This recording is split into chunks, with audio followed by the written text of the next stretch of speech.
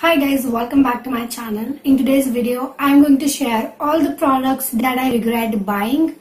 Some of the products that I'm about to show you are highly recommended by a lot of beauty influencers.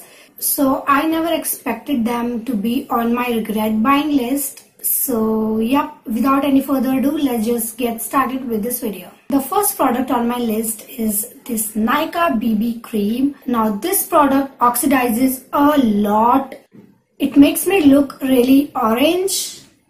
But the main problem is not oxidization. I can like manage oxidization. It's okay. But the main problem is this cream is not waterproof, not even water resistant.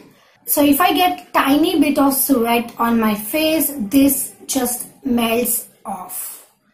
And it looks so weird and bad. Oh my god. People actually point out and say which face cream you are wearing it's melting off and looking awful on top of that i think it's not even blend onto the face very easily I think my Pond's BB cream works better than this one and it's just a lot cheaper than the Nykaa BB cream.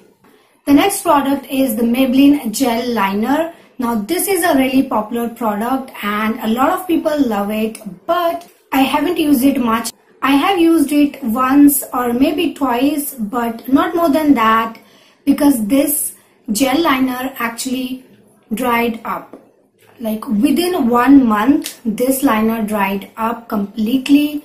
I can't even use it. I can't do anything. Next product is the Neutrogena sunscreen. Now this is a really hyped up, really popular product a lot of people recommend this sunscreen for oily skin types as well and that's why I bought it and when I used it I was like no girl it's not working out at all. It's not suitable for oily skin types and I have done a full review on this sunscreen so I will leave a link in the description box below. Next product is again a sunscreen. It's the Biotique Bio Carrot sunscreen. This is suitable for people who have dry skin or really dry skin Next is the Rimmel eye makeup remover. Now this product I got it on 50% off. So this is a makeup remover specifically made to remove eye makeup but guess what? It irritates the eyes and gives them burning sensation which I don't think anyone wants. I think Garnier Micellar Water is way more gentle than this eye makeup remover. If you're wondering how I have used this much of the product, so let me tell you, I use this to remove my face makeup because you know what, I have spent my money onto it and I want to use it.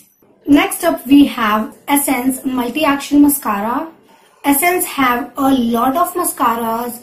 Some of them are really good. For example, their I Love Extreme Volume Mascara is one of my favorite mascaras of all time. But some of their mascaras are not at all good for example, this one. So the problem with this mascara is this actually flakes off. So when you apply it after few hours, this mascara actually flakes off and you could see all the mascara flakes onto your cheeks. Hate it. So yeah, that's all for this video. I do hope you guys enjoyed it. Thank you so much for watching. Bye.